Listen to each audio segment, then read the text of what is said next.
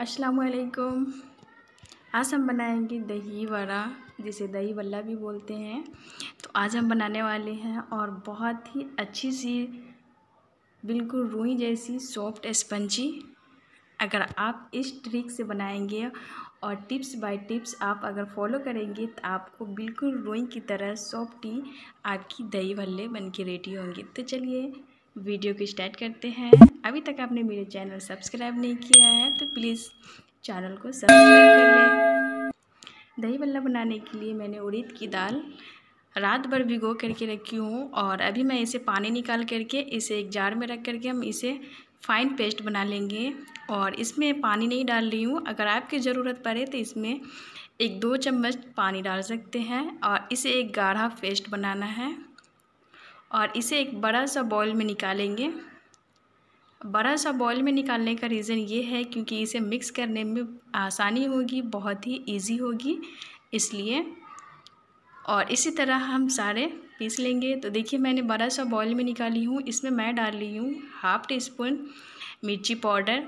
इसे थोड़ी सी तीखी आएगी। हालाँकि ये काश्मीरी लाल मिर्च है और एक टीस्पून डाल ली इसमें ज़ीरा और ये ज़ीरा, भुजी हुई ज़ीरा है। आप गोटा ज़ीरा को भूज करके डालें। इसकी टेस्ट अच्छी आती है और इसमें हाफ़ टी स्पून के करीब डालेंगे नमक और बस मिक्स कर लेंगे इसे। इसमें अब कुछ नहीं डालना है। इसमें सोडा वगैरह हम कुछ नहीं डालेंगे और हम आपको दिखाएँगे कितनी स्पंजी और कितनी सॉफ्टी बनेगी और इसे हम एक ही डायरेक्शन में इसे घुमाएँगे। दोनों साइड से नहीं करेंगे, इधर नहीं करेंगे, डायरेक्टली एक ही साइड से हम इसे मिक्स करेंगे। बिल्कुल इसी तरह से। तो आप इस तरह से एक एक टिप्स को फॉलो करेंगे तो आपकी दही भल्ले काफ़ी सॉफ्ट स्पंची बिल्कुल रुई की तरह बनेगी। और आप हमेशा घर में बना करके किसी भी फ़ंक्शन किसी भी त्यौहार हो, उसमें आप इसे बना करके इंजॉय कर सकते हैं। अब इसे हम कैसे मतलब कि समझेंगे जो ये अच्छे से हो गई है मिक्स हो गई है या नहीं। तो इसे हमने एक गिलास में पानी ली हूँ, आप देख सकते हैं। मैंने कांच की गिलास ली हूँ ताकि आपको नीचे से ऊपर तक दिखाई दे। ऐसे मैंने छोटी सी एक बॉल डाली हूँ तो ये नीचे नहीं गया है। मतलब ऊपर ही ये तैर रहा है, इसके मतलब ये परफेक्ट अच्छे से ये रेडी हो गई दही वल्ला बनने के लिए। तो देखिए इस तरह से और हम निकाल लेंगे। और इसे हम कम से कम पाँच से सात मिनट के लिए इसे रख देंगे रेस्ट पे। इधर मैंने तेल भी गरम करने के लिए रखी हूँ ऑयल और इसे हम हाथ में पानी लगाएँगे और थोड़ी सी इस तरह चलाएँगे। जिस तरह से मैंने पहले चलाई थी, एक ही डायरेक्शन में इसी तरह मुझे चलाना है। और साथ में हाथ में पानी लगाते जाएँगे और छोटी छोटी सी एक बॉल लेंगे। आप अपने हिसाब से बड़े या छोटे भल्ले बना सकते हैं। तो देखिए, इस तरह से मैं ऑयल में एक छोटी सी डाल करके देख रही हूँ, तेल का टेम्परेचर और इस तरह से हम डालेंगे। और आप खुद ही देखेंगे, ये थोड़ी ही देर में खुद से ये इतनी फूल जाती है, ये खुद ही पलटना शुरू कर देते हैं। तो तेल काफ़ी गर्म है। इतनी भी गर्म नहीं है ताकि रखे और लाल हो जाए, फिर भी गर्म होनी चाहिए और सारे भल्ला को रख देंगे। इस तरह से एक साइड अच्छे से पकने देंगे। हल्की सी गोल्डन होने देंगे। इसे पूरी तरह से गोल्डन नहीं करना है। और हल्के हल्के से तेल लेंगे और इस तरह से भल्ले के ऊपर डालेंगे। हल्का सा टच करने से ही ये पलट जाएँगे। अब देखेंगे सिर्फ़ इसकी जगह मिलनी चाहिए। अगर आपकी कढ़ाई छोटी है तो आप कम डालें बड़े हैं तो बड़ी जा, बहुत ज़्यादा ही भी डाल सकते हैं। इसमें बहुत ही ज़्यादा हो गई है ये फूल करके तो आपस में इसका जगह नहीं मिल रहा है तो मुझे थोड़ी सी इसको सपोर्ट देना पड़ रहा है तो ये अपने आप पलट जा रहा है।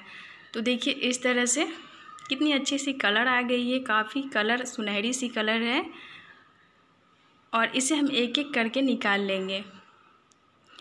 फ्लेम मैंने लो करके रखी हूँ क्योंकि तेल काफ़ी हीट हो जाएगी तो मैं दूसरा वाला दही वाला डालूँगी तो वो काफ़ी क्रिस्पी कुरकुरी ऊपर से बन जाएँगे, नीचे से अंदर से गलेंगे नहीं, इसलिए हम तेल के टेम्परेचर काफ़ी लो करके रखेंगे और इसी तरह से सबको बना लेंगे।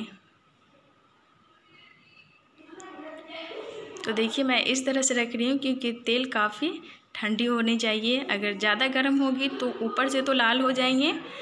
कलर अच्छी आ जाएगी, नीचे से कच्ची ही रहेगी। तो इसीलिए हम तेल को ज़्यादा हीट नहीं करेंगे और ज़्यादा ठंडा भी नहीं होनी चाहिए। तो देखिए इसकी जगह मिलेंगे और ये आपस में कैसे पलट जाते हैं। और तेल आप इसमें ज़्यादा दीजिए ताकि इसमें भल्ले अच्छे से अपने आप फूल फूल करके गेंद के जैसे बन जाएँगे। अगर आप कम तेल में बनाएँगे तो आपको भल्ले फूलेंगे नहीं। तो ये बड़ा बहुत ही अच्छे से फूल गए हैं, आप देख सकते हैं। इसे भल्ले भी कुछ लोग बोलते हैं और इसे वड़ा से भी जाना जाता है। तो आप क्या बोलते हैं? मैं इसे दही वड़ा ही बोलती हूँ। और ये काफ़ी सॉफ्टी स्पंची बन करके रेडी हो गई है। तो हम सब आपको दिखाएँगे। सारी मैंने बना करके रेडी कर ली। देखिए, काफ़ी स्पंची सॉफ्टी सी बन करके रेडी हो गई है मेरी दही वल्ल की वड़ा।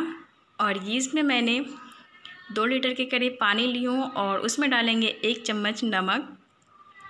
नमक डालने की रीज़न ये है थोड़ी सी नमकीन हो जाएगी पानी, क्योंकि हम भल्ले डालेंगे तो इसमें थोड़ी सी अच्छी सी टेस्ट आएगी।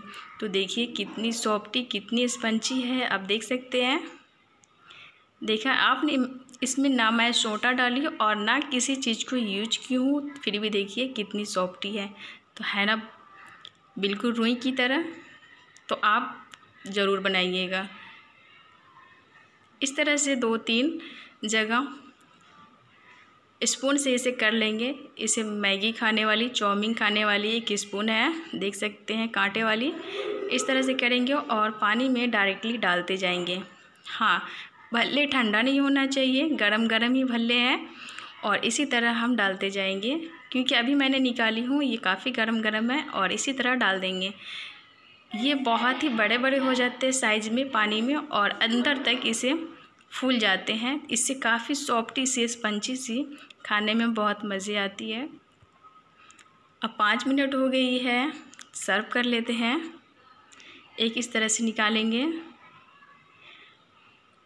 ज़्यादा देर नहीं रखना है पानी में, ज़्यादा से ज़्यादा दस मिनट तक रखेंगे और इसे निकाल लेंगे। अगर छोड़ देंगे ज़्यादा देर तो ये सारे के सारे भल्ले पानी में ही टूट जाएँगे।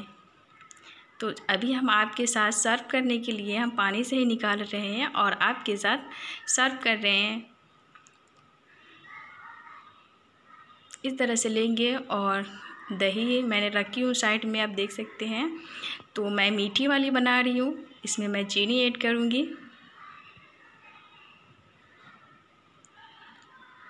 एक डेढ़ चम्मच के करीब मैं इसमें चीनी ऐड कर रही हूँ और इसे मिक्स कर लेंगे। आपके घर में कोई भी गेस्ट आए, मेहमान आए तो आप फटाफट बनाइए दही वल्ला और हर किसी को पसंद आते हैं ये दही वल्ला और ये दही वड़ा की रेसिपी बहुत ही इजी और बहुत ही सिंपल है, अगर आप इस तरह से बनाएँगे तो। और इसे हम इस पर डाल देंगे। पूरी तरह से डालेंगे ताकि जितने भी वड़ा है वो कवर हो जाएँगे। तो आप किसी भी लोकेशन किसी भी फ़ंक्शन पे आप इसे इंजॉय कर सकते हैं, बना सकते हैं और अपनी फैमिली के साथ, दोस्तों के साथ, किसी भी मौका पे बर्थडे पार्टी हो या फिर घर का कोई भी फ़ंक्शन हो, आप बनाएँ और इन्जॉय करें। और इसी के साथ मैं क्या क्या ली हूँ इसमें? कुछ चाट मसाला है, हरी चटनी है, ये इमली की चटनी है और कुछ सेव हैं। तो ये इमली की चटनी मैंने बना करके पहले से ही रखी हूँ और इसकी वीडियो अगर आपको चाहिए तो आप मेरे चैनल पे जा सकते हैं। ये वीडियो मैंने अपलोड कर चुकी हूँ। ये इमली की चटनी आप छः महीना तक स्टोर करके रख सकते हैं। तो ये ऑलरेडी मेरे चैनल पे अपलोड है। आप वहाँ से चेकआउट कर सकते हैं। और ये चाट मसाला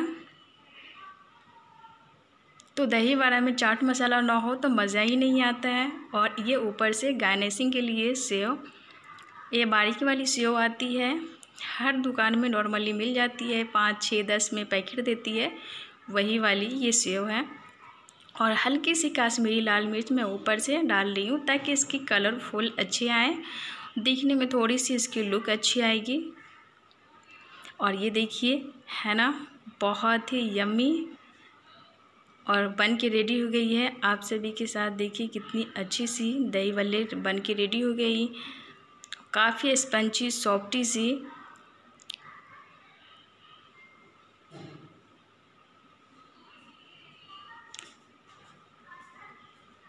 तो ये हरी चटनी और इमली की चटनी के साथ सर्व कीजिए। आपको बहुत ही मज़े की लगेगी और बहुत ही टेस्टी बनी है। आप खुद देख सकते हैं, अंदाज़ा लगा सकते हैं।